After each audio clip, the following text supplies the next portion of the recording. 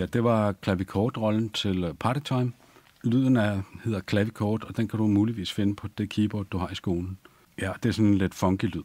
Nu vil jeg vise jer, hvad for nogle toner, I skal spille i det her nummer.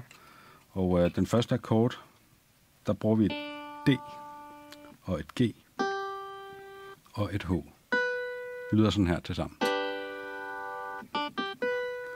Næste akkord, vi skal bruge, det er et E og et A og et cis. Og så skifter man mellem de her to.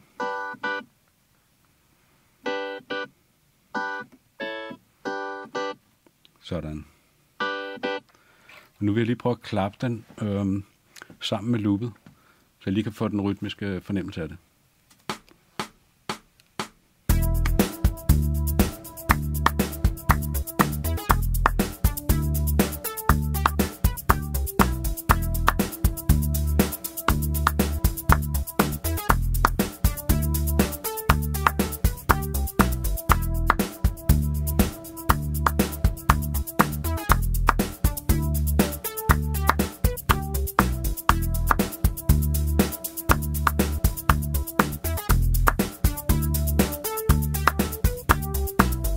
Nu vil vi prøve at spille den i et langsomt tempo, hvor du kan prøve at hænge på her.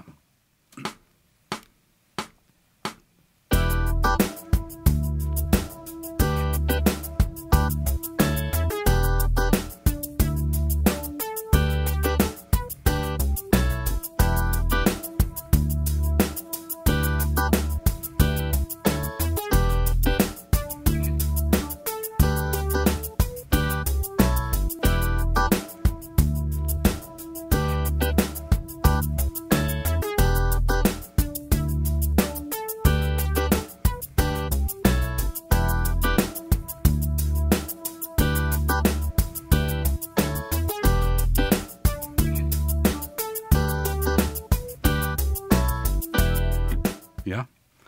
Nu vil jeg prøve at tage den op i det rigtige tempo, og så kan du øve med her.